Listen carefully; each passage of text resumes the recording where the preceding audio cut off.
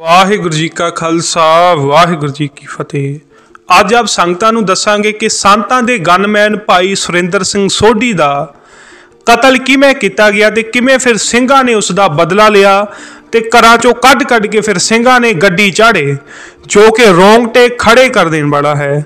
ਭਾਵੇਂ ਕਿ ਇਸ ਚੈਨਲ ਤੇ ਪਹਿਲਾਂ ਵੀ ਤਿੰਨ ਵੀਡੀਓਜ਼ ਭਾਈ ਸੁਰਿੰਦਰ ਸਿੰਘ ਸੋਢੀ ਦੇ ਜੀਵਨ ਦੀਆਂ ਅਪਲੋਡ ਹੋ ਚੁੱਕੀਆਂ ਨੇ, ਪਰ ਅੱਜ ਇਸ ਵੀਡੀਓ ਦੇ ਵਿੱਚ ਪੂਰੀ ਜਾਣਕਾਰੀ ਦਿਆਂਗੇ ਕਿ ਕਿਵੇਂ ਭਾਈ ਸਾਹਿਬ ਜੀ ਦਾ ਕਤਲ ਹੋਇਆ ਤੇ ਫਿਰ ਸਿੰਘਾਂ ਬਦਲਾ ਕਿਵੇਂ ਲਿਆ? ਸ਼੍ਰੋਮਣੀ ਅਕਾਲੀ ਦਲ ਦੇ ਪ੍ਰਧਾਨ ਤੇ ਡਿਕਟੇਟਰ ਧਰਮਯੁੱਧ ਮੋਰਚਾ ਸੰਤ ਹਰਚੰਦ ਸਿੰਘ ਲੋਂਗੋਵਾਲ ਵੱਲੋਂ ਸੰਤ ਜਰਨੈਲ ਸਿੰਘ ਜੀ ਪ੍ਰਤੀ ਅਜਿਹੀਆਂ ਸਾਜ਼ਿਸ਼ਾਂ ਘੜੀਆਂ ਜਾ ਰਹੀਆਂ ਸਨ, ਜਿਸ ਨਾਲ ਸੰਤ ਬਾਬਾ ਜਰਨੈਲ ਸਿੰਘ ਜੀ ਮੋਰਚਾ ਛੱਡ ਦੇਣ। ਜਦ ਇਹਨਾਂ ਪਾਪੀਆਂ ਦੀਆਂ ਸਕੀਮਾਂ ਕਾਰੀਗਰ ਸਿੱਧ ਨਾ ਹੋਈਆਂ ਤਾਂ ਇਹਨਾਂ ਨੇ ਸੰਤ ਜਰਨੈਲ ਸਿੰਘ ਜੀ ਨੂੰ ਤੇ ਉਹਨਾਂ ਦੇ ਡਰਾਈਵਰ ਭਾਈ ਗੁਰਮੁਖ ਸਿੰਘ, ਸੰਤਾਂ ਦੇ ਗਨਮੈਨ ਭਾਈ ਸੁਰਿੰਦਰ ਸਿੰਘ ਸੋਢੀ ਅਤੇ ਸੰਤਾਂ ਦਾ ਭਤੀਜਾ ਭਾਈ ਸਵਰਨ ਸਿੰਘ, ਇਹਨਾਂ ਚਾਰਾਂ ਨੂੰ ਖਤਮ ਕਰਨ ਦੀ ਸਕੀਮ ਤਿਆਰ ਕੀਤੀ। ਇਸੇ ਯੋਜਨਾ ਦੇ ਅਲੀਕੇ ਜਾਣ ਪਿੱਛੇ ਮੁੱਖ ਤੌਰ ਤੇ ਸ਼੍ਰੋਮਣੀ ਅਕਾਲੀ ਦਲ ਦੇ ਸਕੱਤਰ ਗੁਰਚਰਨ ਸਿੰਘ, ਬੱਗਾ ਸਿੰਘ, ਮਲਕ ਸਿੰਘ ਭਾਟੀਆ ਨੂੰ ਜ਼ਿੰਮੇਵਾਰੀ ਸੌਂਪੀ ਗਈ ਸੀ। ਤੇ ਇਹਨਾਂ ਨੇ ਇਸ ਕੰਮ ਨੂੰ ਅੰਜਾਮ ਦੇਣ ਦੇ ਲਈ ਪੇਸ਼ਾਵਰ ਵਿਅਕਤੀਆਂ ਦੀ ਚੋਣ ਕੀਤੀ, ਜਿਨ੍ਹਾਂ ਵਿੱਚੋਂ ਪਹਿਲਾਂ ਤੋਂ ਹੀ ਇਹਨਾਂ ਦੇ ਸੰਪਰਕ ਵਿੱਚ ਰਿਹਾ ਸੁਰਿੰਦਰ ਸਿੰਘ ਸ਼ਿੰਦਾ, ਜੋ ਕਿ ਇੱਕ ਸਮਗਲਰ ਸੀ, ਉਸ ਨੂੰ ਚੁਣਿਆ। ਪਰ ਉਹ ਸਮੇਂ ਜੇਲ੍ਹ ਵਿੱਚ ਬੰਦ ਸੀ।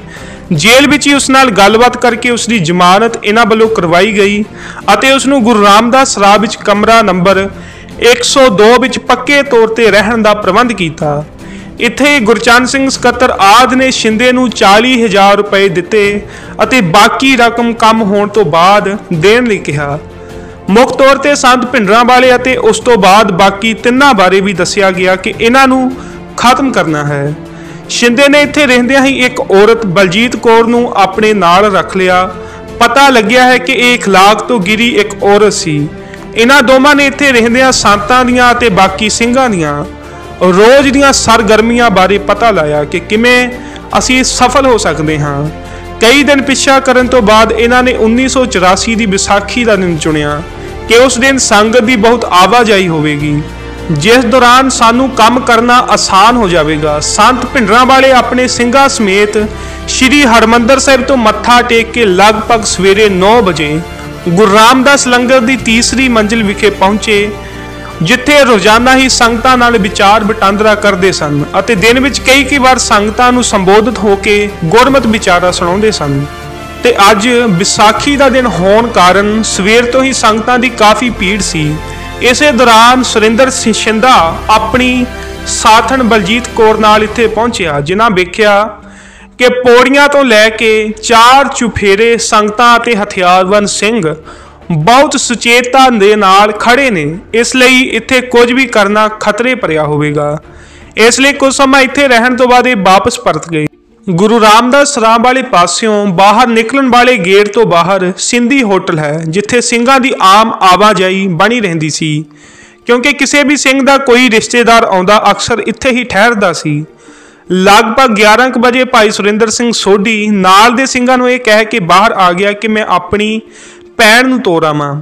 ਸੋਢੀ ਇਸੇ ਹੀ ਗੇਟ ਤੋਂ ਇਹ ਆਪਣੀ ਭੈਣ ਨੂੰ 3 ਬਿਲਰ ਤੇ ਬਿਠਾਉਣ ਲਈ ਰੋਕਿਆ। ਸ਼ਿੰਦੇ ਨੇ ਸੋਢੀ ਨੂੰ ਗੇਟ ਤੋਂ ਬਾਹਰ ਖੜੇ ਵੇਖਿਆ ਤਾਂ ਉਸਨੇ ਤੁਰੰਤ ਹੀ ਆਪਣੇ ਦੋ ਸਾਥੀਆਂ ਨੂੰ, ਜੋ ਕਿ ਵੇਖਣ ਨੂੰ ਸਜੇ ਧਜੇ ਸਿੰਘ ਹੀ ਲੱਗਦੇ ਸਨ, ਭਾਈ ਸੋਢੀ ਕੋਲ ਭੇਜਿਆ ਤੇ ਕਿਹਾ ਕਿ ਆਓ ਸਿੰਧੀ ਹੋਟਲ ਵਿੱਚ ਬੈਠ ਕੇ ਕੌਫੀ ਦਾ ਕੱਪ ਕੱਪ ਪੀਂਦੇ ਹਾਂ। ਆਪਣੀ ਭੈਣ ਨੂੰ ਤੋੜ ਕੇ ਸੋਢੀ ਇਹਨਾਂ ਸਿੰਘਾਂ ਦੇ ਨਾਲ ਸਿੰਧੀ ਹੋਟਲ ਵਿੱਚ ਚਲੇ ਗਿਆ।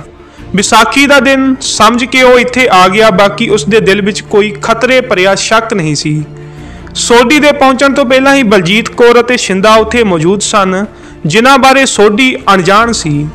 ਪਰ ਗੁਰਚੰਦ ਸਿੰਘ ਸਕੱਤਰ ਹੁਰਾਂ ਦੀ ਸਮਝਾਈ ਹੋਈ ਸਕੀਮ ਮੁਤਾਬਕ ਇਹਨਾਂ ਤਿੰਨਾਂ ਸਿੰਘਾਂ ਵਿੱਚੋਂ ਸੁਰਿੰਦਰ ਸਿੰਘ ਸੋਢੀ, ਸਵਰਨ ਸਿੰਘ ਜਾਂ ਗੁਰਮੁਖ ਸਿੰਘ ਕੋਈ ਵੀ ਕਾਬੂ ਆਵੇ ਤਾਂ ਇਹਨਾਂ ਨੂੰ ਕਤਲ ਕਰਨ ਉਪਰੰਤ ਇਹਨਾਂ ਦਾ ਹੀ ਹਥਿਆਰ ਉਤਾਰ ਕੇ ਬਲਜੀਤ ਕੌਰ ਸੰਤਾ ਕੋਲ ਪੇਸ਼ ਹੋ ਜਾਵੇ ਕਿ ਇਹ ਤੁਹਾਡਾ ਸਿੰਘ ਮੇਰੀ ਇੱਜ਼ਤ ਨੂੰ ਹੱਥ ਪਾਉਣ ਲੱਗਾ ਸੀ, ਇਸ ਲਈ ਮੈਂ ਇਸ ਨੂੰ ਕਤਲ ਕੀਤਾ ਹੈ।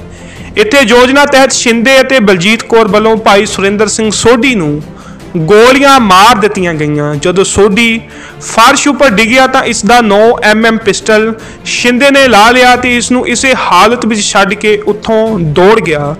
ਅਤੇ ਆਪਣੀ ਸਰਾਂ ਵਾਲੇ ਕਮਰੇ ਵਿੱਚ ਚਲਿਆ ਗਿਆ ਅਤੇ ਨਾਲ ਹੀ ਉਸਨੇ ਮਲਕ ਸਿੰਘ ਭਾਟੀਏ ਨੂੰ ਦੱਸਿਆ ਕਿ ਕੰਡਾ ਕੱਢ ਦਿੱਤਾ ਹੈ। ਹੁਣ ਮੈਨੂੰ ਇੱਥੋਂ ਬਾਹਰ ਕੱਢਣ ਦਾ ਤੁਰੰਤ ਇੰਤਜ਼ਾਮ ਕੀਤਾ ਜਾਵੇ। ਤਾਂ ਭਾਟੀਏ ਨੇ ਆਪਣੇ ਬਾਕਫਕਾਰ ਕਰਨੈਲ ਸਿੰਘ ਦੇ ਬੇਟੇ ਦੀ ਟੈਕਸੀ ਮੰਗਵਾਈ ਅਤੇ ਉਸ ਨੂੰ ਪੂਰਾ ਭਰੋਸਾ ਦਿਵਾਇਆ ਕਿ ਇਹ ਸ਼ਿੰਦਾ ਮੇਰਾ ਭਰੋਸੇਯੋਗ ਅਤੇ ਵਾਕਫ ਆਦਮੀ ਹੈ। ਜਿੱਥੇ ਇਹ ਕਹੇ ਉਸ ਨੂੰ ਛੱਡ ਕੇ ਆਵੋ ਅਤੇ ਤੇਰੀ ਟੈਕਸੀ ਦਾ ਕਿਰਾਇਆ ਵੀ ਮੈਂ ਦੇਵਾਂਗਾ। ਇਸ ਤਰ੍ਹਾਂ ਸ਼ਿੰਦੇ ਨੂੰ ਭਾਟੀਏ ਹੁਰਾਂ ਨੇ ਜਲਦੀ ਨਾਲ ਇੱਥੋਂ ਕੱਢ ਦਿੱਤਾ। ਸ਼ਿੰਦੇ ਨੇ ਟੈਕਸੀ ਵਾਲੇ ਨੂੰ ਕਿਹਾ ਕਿ ਮੈਨੂੰ ਅਲਗੋ ਕੋਠੀ ਪਿੰਡ ਛੱਡ ਕੇ ਆ। ਉੱਥੇ ਸ਼ਿੰਦੇ ਦਾ ਪੁਰਾਣਾ ਬਾਫਕਾਰ ਸਰਦਾਰ ਬਖਸ਼ੀਸ਼ ਸਿੰਘ ਰਹਿੰਦਾ ਸੀ। ਟੈਕਸੀ ਵਾਲਾ ਉਸ ਨੂੰ ਬਖਸ਼ੀਸ਼ ਸਿੰਘ ਦੇ ਘਰ ਉਤਾਰ ਕੇ ਵਾਪਸ ਆ ਗਿਆ। ਕੁਝ ਸਮੇਂ ਬਾਅਦ ਜਦ ਬਖਸ਼ੀਸ਼ ਸਿੰਘ ਸ਼ਿੰਦੇ ਨੂੰ ਮਿਲਿਆ ਤਾਂ ਉਸਨੇ ਇਸ ਨੂੰ ਪੁੱਛਿਆ ਕਿ ਤੂੰ ਇੰਨਾ ਘਬਰਾਇਆ ਹੋਇਆ ਕਿਉਂ ਹੈ? ਪਹਿਲਾਂ ਤਾਂ ਇਸਨੇ ਟਾਲ ਮਟੋਲ ਕੀਤਾ। ਪੁਰਾਣਾ ਵਾਕਫਕਾਰ ਹੋਣ ਕਾਰਨ ਇਸਨੇ ਬਖਸ਼ੀਸ਼ ਸਿੰਘ ਨੂੰ ਦੱਸ ਦਿੱਤਾ ਕਿ ਅਸੀਂ ਸੋਢੀ ਦਾ ਕਤਲ ਕਰ ਦਿੱਤਾ ਹੈ।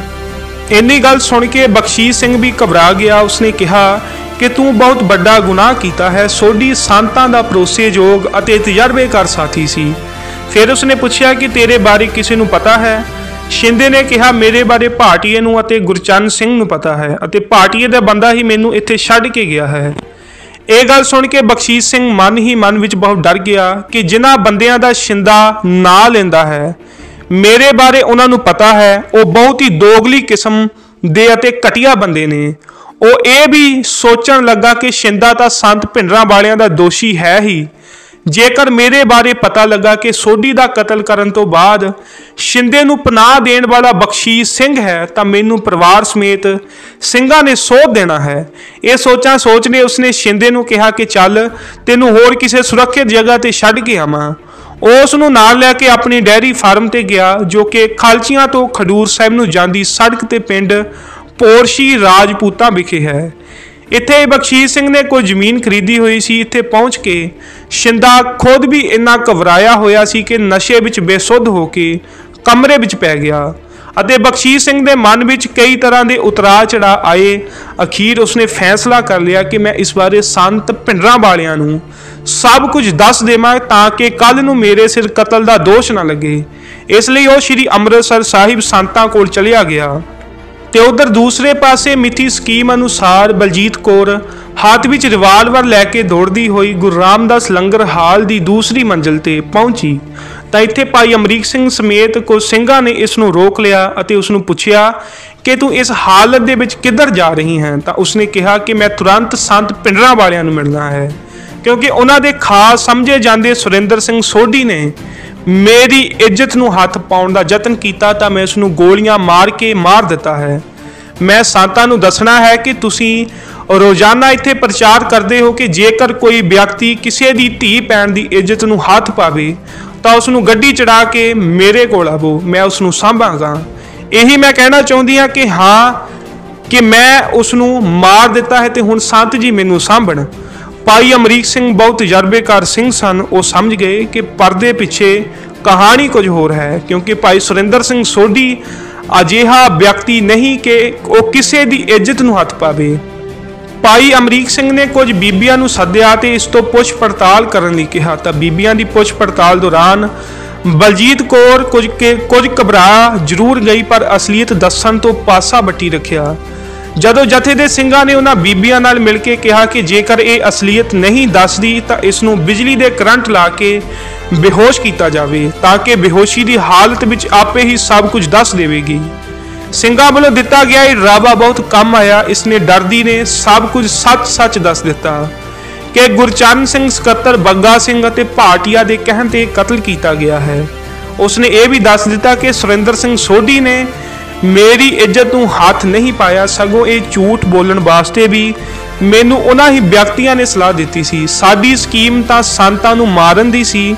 ਅਸੀਂ ਉੱਥੇ ਗਏ ਵੀ, ਪਰ ਸਾਡੀ ਹਿੰਮਤ ਨਹੀਂ ਪਈ ਕਿ ਅਸੀਂ ਉਹਨਾਂ ਨੂੰ ਮਾਰ ਸਕੀਏ। ਦੂਸਰਾ, ਉਹਨਾਂ ਦਾ ਡਰਾਈਵਰ ਅਤੇ ਉਹਨਾਂ ਦਾ ਭਤੀਜਾ ਹੈ, ਉਹਨਾਂ ਨੂੰ ਵੀ ਅਸੀਂ ਮਾਰਨਾ ਸੀ। ਉਸਨੇ ਇਹ ਵੀ ਮੰਨਿਆ ਕਿ ਇਸ ਕਤਲ ਵਿੱਚ ਮੇਰਾ ਦੂਸਰਾ ਸਾਥੀ ਸੁਰਿੰਦਰ ਸ਼ਿੰਦਾ ਹੈ, ਜੋ ਇਸ ਕਤਲ ਤੋਂ ਬਾਅਦ ਇੱਥੋਂ ਦੌੜ ਗਿਆ ਹੈ। ਉਸ ਨੇ ਦੱਸਿਆ ਕਿ ਪਿਛਲੇ ਇੱਕ ਮਹੀਨੇ ਤੋਂ ਅਸੀਂ ਗੁਰੂ ਰਾਮਦਾਸ ਰਾਂ ਦੇ ਕਮਰਾ ਨੰਬਰ 102 ਵਿੱਚ ਰਹਿ ਰਹੇ ਹਾਂ, ਜਿਸ ਦਾ ਪ੍ਰਬੰਧ ਗੁਰਚੰਦ ਸਿੰਘ ਸਕੱਤਰ ਨੇ ਕੀਤਾ ਹੈ। ਇੱਥੇ ਇਸੇ ਕਮਰੇ ਵਿੱਚ ਹੀ ਸਾਨੂੰ 40000 ਰੁਪਇਆ ਅਤੇ ਹਥਿਆਰ ਦਿੱਤੇ ਗਏ ਸਨ ਅਤੇ ਬਾਕੀ ਦੇ ਪੈਸੇ ਕਤਲ ਕਰਨ ਤੋਂ ਬਾਅਦ ਦੇਣੇ ਸਨ। ਉਹ ਪੈਸੇ ਕਿੰਨੇ ਹਨ, ਇਸ ਬਾਰੇ ਸ਼ਿੰਦੇ ਨੂੰ ਪਤਾ ਹੈ। ਬਲਜੀਤ ਕੌਰ ਵੱਲੋਂ ਕੀਤੀਆਂ ਇਹਨਾਂ ਸਭ ਗੱਲਾਂ ਨੂੰ ਉਸ ਦੇ ਸਾਹਮਣੇ ਹੀ ਰਿਕਾਰਡ ਕਰ ਲਿਆ ਗਿਆ। ਉਸ ਤੋਂ ਰਿਵਾਲਵਰ ਲੈ ਲਿਆ ਅਤੇ ਉਸ ਨੂੰ ਇੱਕ ਕਮਰੇ ਵਿੱਚ ਬੰਦ ਕਰਕੇ ਉਸ ਵੱਲੋਂ ਦਿੱਤੀ ਜਾਣਕਾਰੀ ਦੀ ਸਚਾਈ ਬਾਰੇ ਪਤਾ ਕੀਤਾ। ਤੇ ਉਧਰ ਸੋਢੀ ਦੇ ਕਤਲ ਦਾ ਰੋਲਾ ਪੈਂਦਿਆਂ ਹੀ ਜਥੇ ਦੇ ਸਿੰਘ ਸੁਖਵੰਤ ਸਿੰਘ ਬੱਲੂ ਅਤੇ ਗੁਰਦਿਆ, ਗੁਰਦਿਆਲ ਸਿੰਘ ਨਿਹੰਗ ਸਿੰਘ ਨੇ ਜਾ ਕੇ ਸੋਢੀ ਨੂੰ ਜ਼ਖਮੀ ਹਾਲਤ ਵਿੱਚ ਚੁੱਕਿਆ। ਉਹ ਹਾਲੇ ਜਿਉਂਦਾ ਸੀ। ਵਿਸਾਖੀ ਦਾ ਦਿਨ ਹੋਣ ਕਾਰਨ ਇੱਕ ਐਂਬੂਲੈਂਸ ਐਮਰਜੈਂਸੀ ਡਿਊਟੀ ਲਈ ਖੜੀ ਸੀ। ਉਸ ਵਿੱਚ ਪਾ ਕੇ ਭਾਈ ਸੋਢੀ ਨੂੰ ਹਸਪਤਾਲ ਲਿਜਾਇਆ ਗਿਆ, ਪਰ ਉਹ ਰਸਤੇ ਵਿੱਚ ਹੀ ਦਮ ਤੋੜ ਗਿਆ ਤੇ ਸ਼ਹੀਦੀ ਪਾ ਗਏ। ਜਦੋਂ ਉਸ ਨੂੰ ਵਾਪਸ ਲਿਆਂਦਾ, ਉਦੋਂ ਤੱਕ ਸੋਢੀ ਦੇ ਕਤਲ ਦਾ ਰੋਲਾ ਸਾਰੇ ਸ਼ਹਿਰ ਦੇ ਵਿੱਚ ਪੈ ਚੁੱਕਿਆ ਸੀ। ਖਾਸ ਕਰਕੇ ਕੈਂਪਲੈਕਸ ਦੇ ਅੰਦਰ ਦਾ ਹਰ ਵਿਅਕਤੀ ਸੋਚ ਰਿਹਾ ਸੀ ਕਿ ਸੋਢੀ ਦਾ ਕਤਲ ਕਿਉਂ ਹੋਇਆ। ਸੰਤਾ ਕੋਲ ਬਲਜੀਤ ਕੌਰ ਵੱਲੋਂ ਦਿੱਤੀ ਗਈ ਜਾਣਕਾਰੀ ਵੀ ਪਹੁੰਚ ਚੁੱਕੀ ਸੀ, ਪਰ ਉਹ ਅਸਲ ਸਚਾਈ ਨੂੰ ਸਮਝਣ ਵਿੱਚ ਲੱਗੇ ਹੋਏ ਸਨ। ਤੇ ਇੰਨੇ ਚਿਰ ਨੂੰ ਆਲਗੋ ਕੋਠੀ ਵਾਲਾ ਬਖਸ਼ੀਸ਼ ਸਿੰਘ ਵੀ ਇੱਥੇ ਪਹੁੰਚ ਗਿਆ। ਉਸਨੇ ਜਥੇ ਦੇ ਜ਼ਿੰਮੇਵਾਰ ਸਿੰਘਾਂ ਨੂੰ ਸ਼ਿੰਦੇ ਬਾਰੇ ਸਭ ਕੁਝ ਦੱਸ ਦਿੱਤਾ ਤੇ ਕਿਹਾ ਕਿ ਮੈਂ ਸੰਤਾਂ ਨੂੰ ਮਿਲ ਕੇ ਇਹ ਸਭ ਕੁਝ ਉਹਨਾਂ ਨੂੰ ਵੀ ਦੱਸਣਾ ਚਾਹੁੰਦਾ ਹਾਂ। ਸਿੰਘਾਂ ਨੇ ਇਸ ਨੂੰ ਹੌਸਲਾ ਦਿੱਤਾ ਤੇ ਕਿਹਾ ਕਿ ਤੈਨੂੰ ਸੰਤਾਂ ਨਾਲ ਮਿਲਾਉਂਦੇ ਹਾਂ। ਸੰਤਾਂ ਨੂੰ ਇਸ ਬਾਰੇ ਦੱਸਿਆ ਗਿਆ ਅਤੇ ਲੰਗਰ ਦੀ ਸਭ ਤੋਂ ਉੱਪਰਲੀ ਮੰਜ਼ਲ ਤੇ ਉਸ ਨੂੰ ਸੰਤਾਂ ਨਾਲ ਮਿਲਾਇਆ ਗਿਆ। ਦੂਜੇ ਪਾਸੇ ਜਥੇ ਦੇ ਸਿੰਘਾਂ ਨੇ ਬਲਵੀਰ ਸਿੰਘ ਫੌਜੀ, ਗੁਰਿੰਦਰ ਸਿੰਘ ਭੋਲਾ ਦੀ ਡਿਊਟੀ ਲਾਈ ਕਿ ਲੋੜ ਮੁਤਾਬਕ ਇੱਕ ਦੋ ਸਿੰਘਾਂ ਨੂੰ ਹੋਰ ਲੈ ਕੇ ਬਖਸ਼ੀਸ਼ ਸਿੰਘ ਦੇ ਦੱਸੇ ਮੁਤਾਬਕ ਪਿੰਡ ਭੋਰਸ਼ੀ ਰਾਜਪੂਤਾਂ ਤੋਂ ਸ਼ਿੰਦੇ ਨੂੰ ਕਾਬੂ ਕੀਤਾ ਜਾਵੇ। ਇਹ ਸਿੰਘ ਜਦੋਂ ਤੱਕ ਉੱਥੇ ਪਹੁੰਚੇ, ਉਸ ਵੇਲੇ ਬਹੁਤ ਹਨੇਰਾ ਹੋ ਚੁੱਕਾ ਸੀ, ਪਰ ਸਿੰਘਾਂ ਨੇ ਸ਼ਿੰਦੇ ਨੂੰ ਉੱਥੇ ਜਾ ਕੇ ਦਬੋਚ ਲਿਆ। ਉਸ ਸਮੇਂ ਸ਼ਿੰਦਾ ਇੰਨਾ ਡਰਿਆ ਹੋਇਆ ਸੀ ਕਿ ਉਸਨੇ ਸਿੰਘਾਂ ਦੇ ਬਹੁਤ ਤਰਲੇ ਕੀਤੇ ਕਿ ਮੈਂ ਗੁਰਚੰਦ ਸਿੰਘ ਹੋਰਾਂ ਦੀ ਜੁੰਡਲੀ ਦੇ ਕਹਿਣ ਤੇ ਇਹ ਗੁਨਾਹ ਕਰ ਬੈਠਾ ਹਾਂ। ਦੂਜੇ ਪਾਸੇ ਇਸ ਦੀ ਸਾਥਨ ਬਲਜੀਤ ਕੌਰ ਨੇ ਇਸ ਕਾਂਡ ਬਾਰੇ ਜੋ ਕੁਝ ਦੱਸਿਆ ਸੀ, ਉਹ ਬਖਸ਼ੀਸ਼ ਸਿੰਘ ਅਲਗੋ ਕੋਠੀ ਵਾਲੇ ਦੇ ਦੱਸਣ ਮੁਤਾਬਕ ਸਭ ਗੱਲਾਂ ਨਾਲ ਮੇਲ ਖਾਂਦਾ ਸੀ। ਇਸ ਲਈ ਸ਼ਿੰਦੇ ਤੋਂ ਹੋਰ ਕੋਈ ਪੁੱਛ ਪੜਤਾਲ ਕਰਨ ਦੀ ਲੋੜ ਨਾ ਸਮਝੀ। ਸੋਢੀ ਦੇ ਕਤਲ ਕਾਰਨ ਸਿੰਘਾਂ ਵਿੱਚ ਭਾਰੀ ਗੁੱਸੇ ਦੀ ਲਹਿਰ ਦੌੜ ਰਹੀ ਸੀ ਅਤੇ ਕਾਤਲ ਨੂੰ ਸਾਹਮਣੇ ਵੇਖ ਕੇ ਹੋਰ ਬਰਦਾਸ਼ਤ ਕਰਨਾ ਔਖਾ ਸੀ। ਹਾਲੇ ਫੌਜੀ ਅਤੇ ਭੋਲਾ ਇਸ ਨਾਲ ਗੱਲਬਾਤ ਹੀ ਕਰ ਰਹੇ ਸਨ ਤਾਂ ਕਿ ਹੋਰ ਭੇਦ ਖੁੱਲ ਸਕੇ, ਪਰ ਇਹਨਾਂ ਦੇ ਨਾਲ ਦੇ ਇੱਕ ਸਿੰਘ ਨੇ ਆਪਣੀ ਸ਼੍ਰੀ ਸਾਹਿਬ ਦੇ ਨਾਲ ਸ਼ਿੰਦੇ ਨੂੰ ਪਾਰ ਲਾ ਦਿੱਤਾ। ਇਸ ਦੀ ਗਰਦਨ ਧਰ ਨਾਲੋਂ ਬੱਕ ਕਰ ਦਿੱਤੀ। ਇਸ ਨੂੰ ਕੱਪੜੇ ਵਿੱਚ ਬੰਨ ਕੇ ਅੰਮ੍ਰਿਤਸਰ ਜੀਟੀ ਰੋਡ ਤੇ ਮਾਨਾ ਵਾਲੇ ਪਿੰਡ ਦੇ ਸਾਹਮਣੇ ਸੁੱਟ ਦਿੱਤਾ ਗਿਆ। ਉਧਰ ਬਖਸ਼ੀਸ਼ ਸਿੰਘ ਨੇ ਵਾਪਰੀ ਸਾਰੀ ਘਟਨਾ ਬਾਰੇ ਸੰਤਾਂ ਨੂੰ ਦੱਸ ਦਿੱਤਾ। ਸ਼ਾਮ ਦੇਰ ਤੱਕ ਇਸ ਦੁਖਦਾਈ ਘਟਨਾ ਦੀ ਚਰਚਾ ਚੱਲਦੀ ਰਹੀ। ਜਦੋਂ ਸੰਤ ਲੰਗਰ ਹਾਲ ਤੋਂ ਵਾਪਸ ਚਲੇ ਗਏ ਤਾਂ ਗੁੱਸੇ 'ਚ ਆਏ ਸਿੰਘਾਂ ਨੇ ਬਲਜੀਤ ਕੌਰ ਨੂੰ ਵੀ ਗੱਡੀ ਚਾੜ ਦਿੱਤਾ। ਸੋਢੀ ਦੇ ਦੋਵੇਂ ਕਾਤਲ 24 ਘੰਟਿਆਂ ਤੋਂ ਪਹਿਲਾਂ ਪਹਿਲਾਂ ਸਿੰਘਾਂ ਨੇ ਸੋ ਦਿੱਤੇ। ਤੇ ਹੁਣ ਸਮਾਂ ਸੀ ਸਾਜ਼ਿਸ਼ਕਾਰਾਂ ਨੂੰ ਗੱਡੀ ਚਾੜਨ ਦਾ। ਤੇ ਹੁਣ ਸਾਜ਼ਿਸ਼ਕਾਰਾਂ ਦੇ ਵੀ ਸਾਹ ਸੁੱਕ ਰਹੇ ਸਨ ਕਿ ਸਾਡਾ ਹੁਣ ਕੀ ਬਣੇਗਾ। ਇਸੇ ਰਾਤ ਸਿੰਘਾਂ ਵਿੱਚੋਂ ਕਿਸੇ ਨੇ ਹੱਥੀ ਬੈਨਰ ਲਿਖ ਕੇ ਗੁਰੂ ਰਾਮਦਾਸ ਰਾਹ ਦੇ ਮੁੱਖ ਗੇਟ ਤੇ ਟੰਗ ਦਿੱਤਾ, ਜਿਸ ਉੱਪਰ ਲਿਖਿਆ ਸੀ, ਇੱਕ ਚਾਲੇ, ਇੱਕ ਚੱਲ ਚੱਲ ਸੇ, ਸਭ ਆਪਣੀ ਬਾਰ। 15 ਅਪ੍ਰੈਲ ਨੂੰ ਕੰਪਲੈਕਸ ਤੇ ਅੰਦਰਲਾ ਮਾਹੌਲ ਬਹੁਤ ਤਣਾਅਪੂਰਨ ਸੀ। ਇੱਕ ਪਾਸੇ ਸੋਢੀ ਦਾ ਕਤਲ, ਦੂਜੇ ਪਾਸੇ ਕਾਤਲਾਂ ਨੂੰ ਸਜ਼ਾ। ਤੀਜਾ ਗੁਰੂ ਰਾਮਦਾਸ ਰਾਂ ਦੇ ਮੁੱਖ ਗੇਟ ਤੇ ਲਿਖਿਆ ਹੋਇਆ ਬੈਨਰ ਪ੍ਰਤੱਖ ਵਾਰਨਿੰਗ ਦੇ ਰਿਹਾ ਸੀ ਕਿ ਕਹਾਣੀ ਹਾਲੇ ਮੁਕੀ ਨਹੀਂ, ਦੋਸ਼ੀ ਹੱਲੇ ਵੀ ਬਾਕੀ ਨੇ।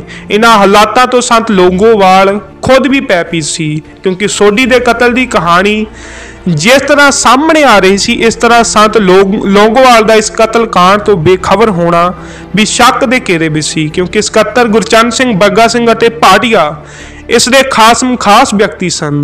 ਇਸ ਲਈ ਸੰਤ ਲੋਂਗੋਵਾਲ ਨੇ ਕੁਝ ਜ਼ਿੰਮੇਵਾਰ ਵਿਅਕਤੀਆਂ ਨੂੰ ਸੰਤਾਂ ਕੋਲ ਭੇਜਿਆ ਕਿ ਕਿਵੇਂ ਨਾ ਕਿਵੇਂ ਇਸ ਵਿਵਾਦ ਨੂੰ ਅੱਗੇ ਵਧਣ ਤੋਂ ਰੋਕਿਆ ਜਾ ਸਕੇ। ਇਹਨਾਂ ਵਿਅਕਤੀਆਂ ਵਿੱਚ ਸਰਦਾਰ ਮੇਜਰ ਸਿੰਘ ਉਬੋਕੇ ਜਨਰਲ ਸਕੱਤਰ ਸ਼੍ਰੋਮਣੀ ਕਮੇਟੀ, ਸਰਦਾਰ ਪਾਨ ਸਿੰਘ ਸਕੱਤਰ ਸ਼੍ਰੋਮਣੀ ਕਮੇਟੀ ਤੇ ਕੁਝ ਹੋਰ ਸਿੰਘ ਵਿਸ਼ੇਸ਼ ਤੌਰ ਤੇ ਸੰਤਾਂ ਦੇ ਕੋਲ ਹੈ ਅਤੇ ਇਹਨਾਂ ਦੇ ਨਾਲ ਹੀ ਗੁਰਦਿਆਲ ਸਿੰਘ ਮੂੰਗਾ ਸ਼੍ਰੋਮਣੀ ਕਮੇਟੀ ਦਾ ਸਲਾਹਕਾਰ ਪੂਰਨ ਸਿੰਘ ਜੋਸ਼, ਮੈਂਬਰ ਸ਼੍ਰੋਮਣੀ ਕਮੇਟੀ ਮਹਿੰਦਰ ਸਿੰਘ ਸਾਬਕਾ ਬ੍ਰਿਗੇਡੀਅਰ ਤੇ ਅਤੇ ਕੁਝ ਹੋਰ ਮੈਂਬਰ ਸ਼੍ਰੋਮਣੀ ਕਮੇਟੀ ਨਾਲ ਸਨ ਉਸ ਸਮੇਂ। ਇਹ ਸਾਰੇ ਜਣੇ ਸੰਤਾਂ ਕੋਲ ਗਏ। ਜਥੇ ਦੇ ਬਹੁਤ ਸਾਰੇ ਸਿੰਘ ਵੀ ਉੱਥੇ ਹੀ ਸਨ। ਉਸ ਸਮੇਂ ਸੰਤ ਭਿੰਡਰਾਂ ਵਾਲੇ ਆਪਣੇ ਨਾਲ ਹੋ ਰਹੀਆਂ ਬਦੀਕੀਆਂ ਤੋਂ ਵੱਧ ਕੇ ਮਸਲਾ ਸਿੰਘਾਂ ਦੇ ਕਤਲਾਂ ਤੱਕ ਪਹੁੰਚ ਜਾਣ ਕਾਰਨ ਫਿਕਰਮੰਦ ਵੀ ਸਨ ਤੇ ਵੀਰ ਰਸ ਦੇ ਵਿੱਚ ਵੀ ਸਨ। ਤੇ ਸੰਤਾਂ ਨੇ ਇਹਨਾਂ ਆਏ ਹੋਏ ਆਗੂਆਂ ਨੂੰ ਦੱਸਿਆ ਕਿ ਮੈਂ 14 ਤਰੀਕ ਨੂੰ ਵਿਸਾਖੀ ਵਾਲੇ ਦਿਨ ਪੂਰਾ ਦਿਨ ਹੀ ਧਰਮਯੁੱਧ ਮੋਰਚੇ ਦੀ ਚੜ੍ਹਦੀ ਕਲਾ ਲਈ ਸੰਗਤਾਂ ਨੂੰ ਪ੍ਰੇਰਦਾ ਰਿਹਾ ਤੇ ਵੱਧ ਤੋਂ ਵੱਧ ਅੰਮ੍ਰਿਤਧਾਰੀ ਹੋ ਕੇ ਗੁਰਮਤਿ ਦੇ ਤਾਰਨੀ ਬਣਾਉਣ ਲਈ ਪ੍ਰਚਾਰ ਕੀਤਾ। ਉਸੇ ਦਿਨ ਅਕਾਲੀ ਦਲ ਦੇ ਫਰੀਦਕੋਟ ਦੇ ਜ਼ਿਲ੍ਹਾ ਪ੍ਰਧਾਨ ਜਥੇਦਾਰ ਤੋਤਾ ਸਿੰਘ ਅਤੇ ਨਿਹਾਲ ਸਿੰਘ ਬਾਲਾ ਦੀ ਸਰਕਲ ਪ੍ਰਧਾਨ ਮਲਕੀਤ ਸਿੰਘ ਰਣੀਏ ਵਾਲੇ ਮੇਰੇ ਕੋਲ ਬੈਠੇ ਸਨ। ਅਸੀਂ ਹਾਲੇ ਕੁਝ ਵਿਚਾਰਾਂ ਹੀ ਕਰ ਰਹੇ ਸਾਂ ਕਿ ਮੇਰੇ ਕੋਲ ਸੁਨੇਹਾ ਆ ਗਿਆ ਕਿ ਸੁਰਿੰਦਰ ਸਿੰਘ ਸੋਢੀ ਨੂੰ ਮਾਰ ਦਿੱਤਾ ਗਿਆ ਹੈ। ਉਸ ਤੋਂ ਬਾਅਦ ਜਿਸ ਤਰ੍ਹਾਂ ਦੇ ਹਾਲਾਤ ਬਣੇ ਹਨ, ਉਹ ਤੁਹਾਡੇ ਸਾਹਮਣੇ ਨੇ।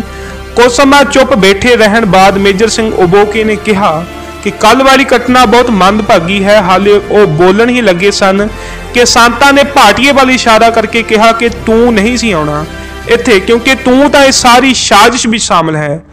ਤੂੰ ਕੀ ਸਮਝਦਾ ਹੈ ਕਿ ਤੇਰੇ ਬਾਰੇ ਕੁਝ ਵੀ ਪਤਾ ਨਹੀਂ? ਨਾਲ ਹੀ ਜਥੇ ਦੇ ਸਿੰਘਾਂ ਨੂੰ ਕਿਹਾ ਕਿ ਲਿਆਓ ਭਾਈ, ਜਿਹੜਾ ਕਾਤਲ ਬਲਜੀਤ ਕੌਰ ਦੀ ਟੇਪ ਰਿਕਾਰਡ ਭਰੀ ਹੈ। ਉਹ ਸੁਣਾਵੋ ਇਹਨਾਂ ਨੂੰ, ਤਾਂ ਕਿ ਇਹਨਾਂ ਸਭਨਾਂ ਨੂੰ ਠੰਡ ਪੈ ਜਾਵੇ ਕਿ ਕਿਵੇਂ ਸਾਡੇ ਸਿੰਘ ਨੂੰ ਸਾਜ਼ਿਸ਼ ਅਧੀਨ ਕਤਲ ਕੀਤਾ ਜਾ ਰਿਹਾ ਹੈ। ਸੰਤਾਂ ਨੇ ਬਲਜੀਤ ਕੌਰ ਦੀ ਉਹ ਰਿਕਾਰਡ ਕੀਤੀ, ਸਾਰੀ ਗੱਲਬਾਤ ਇਹਨਾਂ ਨੂੰ ਸੁਣਾਈ। ਫਿਰ ਭਾਟੀਏ ਨੂੰ ਪੁੱਛਿਆ ਕਿ ਹੁਣ ਖੜਾ ਹੋ ਕੇ ਦੱਸ ਕਿ ਤੂੰ ਸ਼ਿੰਦੇ ਨੂੰ ਇੱਥੋਂ ਕੱਢਣ ਵਿੱਚ ਮਦਦ ਨਹੀਂ ਕੀਤੀ, ਕਿ ਤੂੰ ਉਸ ਨੂੰ ਆਪਣੇ ਵੱਲੋਂ ਟੈਕਸੀ ਲੈ ਕੇ ਨਹੀਂ ਦਿੱਤੀ, ਕਿ ਤੂੰ ਸਰਾਂ ਦੇ ਕਮਰੇ ਨੰਬਰ 102 ਵਿੱਚ ਸ਼ਿੰਦੇ ਨੂੰ ਕਤਲ ਕਰਨ ਵਾਸਤੇ ਪੈਸੇ ਨਹੀਂ ਦਿੱਤੇ। ਤਾਂ ਭਾਟੀਏ ਨੇ ਖੜੇ ਹੋ ਕੇ ਕਿਹਾ ਕਿ ਮੈਂ ਸ਼ਿੰਦੇ ਲਈ ਟੈਕਸੀ ਕਰਕੇ ਦਿੱਤੀ ਹੈ। ਮੈਨੂੰ ਤਾਂ ਇਸ ਬਾਰੇ ਗੁਰਚਰਨ ਸਿੰਘ ਨੇ ਕਿਹਾ ਸੀ। ਬਾਕੀ ਗੱਲਬਾਤ ਬਾਰੇ ਮੈਨੂੰ ਪੂਰਾ ਨਹੀਂ ਪਤਾ ਸੀ। ਸੰਤਾਂ ਨੇ ਕਿਹਾ ਕਿ ਤੂੰ ਝੂਠ ਬੋਲਦਾ ਹੈ ਕਿ ਤੇਰੇ ਸਾਹਮਣੇ ਸੋਢੀ ਦਾ ਰਿਵਾਲਵਰ ਸ਼ਿੰਦੇ ਨੇ ਨਹੀਂ ਲਾਇਆ। ਬਾਕੀ ਤੇਰੇ ਬਾਰੇ ਸ਼ਿੰਦੇ ਨੇ ਖੁਦ ਸਭ ਕੁਝ ਬਖਸ਼ੀਸ਼ ਸਿੰਘ ਅਲਗੋ ਕੋਠੀ ਨੂੰ ਦੱਸ ਦਿੱਤਾ ਸੀ। ਤੇ ਉਹ ਆ ਕੇ ਸਾਨੂੰ ਸਭ ਕੁਝ ਦੱਸ ਗਿਆ ਹੈ, ਇੰਨਾ ਕੁਝ ਕਰਨ ਦੇ ਬਾਵਜੂਦ ਤੂੰ ਸਾਡੇ ਅੱਖੀ ਘੱਟਾ ਪਾਉਣ ਵਾਸਤੇ ਇੱਥੇ ਆਇਆ ਹੈ। ਬਸ ਮੈਂ ਇਹੀ ਕਹਾਂਗਾ ਕਿ ਤੂੰ ਹੁਣੇ ਇਸੇ ਵਕਤ ਸਾਡੀਆਂ ਅੱਖਾਂ ਤੋਂ ਦੂਰ ਚਲਿਆ ਜਾ।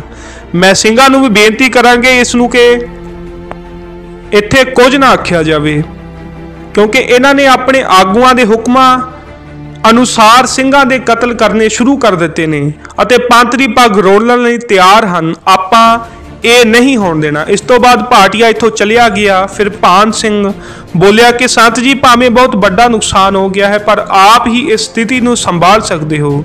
ਸੰਤਾਂ ਨੇ ਸਭ ਆਏ ਹੋਏ ਸਿੰਘਾਂ ਨੂੰ ਕਿਹਾ ਕਿ, ਸਾਡਾ ਕਸੂਰ ਦੱਸੋ ਕੀ ਹੈ? ਤੁਸੀਂ ਇਲਜ਼ਾਮ ਵੀ ਲਗਾਵੋ, ਮੰਜੀ ਸਾਹਿਬ ਤੇ ਮੇਰਾ ਬੋਲਣਾ ਵੀ ਬੰਦ ਕਰੋ। ਗੁਰੂ ਨਾਨਕ ਨਿਵਾਸ ਵਿਖੇ ਸਿੰਘਾਂ ਨੂੰ ਮੇਰੇ ਗਲ ਪਾਉਣ ਦਾ ਯਤਨ ਕਰੋ ਤੇ ਹੁਣ ਸ਼ੇਰ ਵਰਗਾ ਸਾਡਾ ਸਿੰਘ ਕਤਲ ਕਰਵਾ ਕੇ ਮੇਰੀ ਸੱਜੀ ਬਾਹ ਵੱਢ ਦਿੱਤੀ ਹੈ। ਆਪਣੇ ਪ੍ਰਧਾਨ ਨੂੰ ਪੁੱਛ ਲਵੋ ਕਿ ਹੋਰ ਕਿੰਨੇ ਸਿੰਘ ਸਾਡੇ ਕਤਲ ਕਰਨੇ ਨੇ। ਤੁਹਾਡੇ ਮੂੰਹ ਤੋਂ ਕਹੀ ਗਈ ਸ਼ਾਂਤੀ ਸ਼ਾਂਤੀ ਅਸੀਂ ਕੀ ਚਟਣੀ ਹੈ? ਜੇਕਰ ਤੁਹਾਡੇ ਦਿਲ ਵਿੱਚ ਇਸ ਤਰ੍ਹਾਂ ਦੇ ਕਪਟ ਹਨ, ਮੈਂ ਤੁਹਾਨੂੰ ਇਹੀ ਅਪੀਲ ਕਰਦਾ ਹਾਂ ਕਿ ਤੁਸੀਂ ਆਪਣੇ ਹੀ ਸਿੰਘਾਂ ਦੀ ਕਮੇਟੀ ਬਣਾ ਕੇ ਇਸ ਕਤਲ ਬਾਰੇ ਸਾਰੀ ਤਫਤੀਸ਼ ਕਰ ਲਵੋ, ਪਰ ਸਚਾਈ ਸੰਤ ਲੋਂਗੋਵਾਲ ਨੂੰ ਸਾਡੇ ਸਾਹਮਣੇ ਦੱਸੋ। ਦੂਜਾ ਉਹਨਾਂ ਨੂੰ ਕਹਿ ਦੇਵੋ ਕਿ ਸਕੱਤਰ ਗੁਰਚੰਦ ਸਿੰਘ, ਬੱਗਾ ਸਿੰਘ ਆਦ ਨੂੰ ਇੱਥੋਂ ਤੋੜ ਦੇਣ, ਬਾਕੀ ਤੁਸੀਂ ਆਪ ਵਿਚਾਰ ਲਿਓ। ਕਰਨੀ ਤਾਂ ਤੁਸੀਂ ਆਪਣੀ ਮਰਜ਼ੀ ਹੈ ਇਹ ਮਹਾਂਪੁਰਖਾਂ ਨੇ ਬਚਨ ਉਸ ਸਮੇਂ ਕਹੇ। ਤੇ ਹੁਣ ਤੁਹਾਨੂੰ ਜਾਣਕਾਰੀ ਦਿੰਦੇ ਹਾਂ ਕਿ ਭਾਟੀਏ ਦਾ ਫਿਰ ਸਿੰਘਾਂ ਨੇ ਕਿਸ ਤਰ੍ਹਾਂ ਸੌਦਾ ਲਾਇਆ। ਇੱਕ ਨਿਹੰਗ ਸਿੰਘ ਨੇ। ਉਧਰ ਸ਼ਾਮ ਤੱਕ ਗੁਰੂ ਰਾਮਦਾਸ ਸਰਾਂ ਦੇ ਨੇੜੇ ਭਾਟੀਏ ਦੀ ਉਸੇ ਨਿਹੰਗ ਸਿੰਘ ਗੁਰਦਿਆਲ ਸਿੰਘ ਨਾਲ ਤੂੰ ਤੂੰ ਮੈਂ ਮੈਂ ਹੋ ਗਈ। ਜਿਸ ਗੁਰਦਿਆਲ ਸਿੰਘ ਨੇ ਸੋਢੀ ਨੂੰ ਜ਼ਖਮੀ ਹਾਲਤ ਦੇ ਵਿੱਚ ਚੁੱਕਿਆ ਸੀ, ਜਿਵੇਂ ਪਿੱਛੇ ਦੱਸਿਆ ਗਿਆ ਹੈ। ਤੇ ਉਸ ਨਿਹੰਗ ਸਿੰਘ ਨੇ ਉੱਥੇ ਭਾਟੀਏ ਨੂੰ ਸੋਢੀ ਦੇ ਕੋਲ ਵੇਖਿਆ ਸੀ। ਜਦੋਂ ਉਸਨੇ ਕਿਹਾ ਕਿ ਭਾਟੀਆ ਤੇਰੇ ਸਾਹਮਣੇ ਸੋਢੀ ਜ਼ਖਮੀ ਹਾਲਤ ਵਿੱਚ ਪਿਆ ਸੀ ਅਤੇ ਉਸ ਹਾਲਤ ਵਿੱਚ ਸ਼ਿੰਦੇ ਨੇ ਉਸ ਦਾ ਰਿਵਾਲਵਰ ਉਤਾਰਿਆ। ਇਹ ਗੱਲ ਸੁਣਦਿਆਂ ਹੀ ਭਾਟੀਏ ਨੇ ਕਿਹਾ ਕਿ, ਨਿਹੰਗਾ, ਆਪਣੀ ਜਵਾਨ ਬੰਦ ਰੱਖ।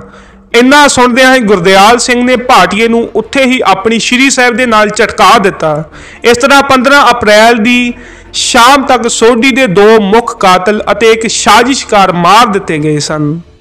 ਤੇ ਇਸ ਤੋਂ ਬਾਅਦ 15 ਤਰੀਕ ਦੀ ਰਾਤ ਨੂੰ ਸੰਤਾਂ ਨੇ ਜਥੇ ਦੇ ਜ਼ਿੰਮੇਵਾਰ ਸਿੰਘਾਂ ਨੂੰ ਇਕੱਠਿਆਂ ਕਰਕੇ ਕਿਹਾ ਤੇ ਸਖਤੀ ਦੇ ਨਾਲ ਕਿਹਾ ਕਿ ਸਭ ਸਿੰਘ ਸੰਜਮ ਤੋਂ ਕੰਮ ਲਵੋ। ਇਤਨੀਆਂ ਬੇਨਤੀਆਂ ਪ੍ਰਵਾਨ ਜੀ, ਵਾਹਿਗੁਰੂ ਜੀ ਕਾ ਖਾਲਸਾ, ਵਾਹਿਗੁਰੂ ਜੀ ਕੀ ਫਤਿਹ।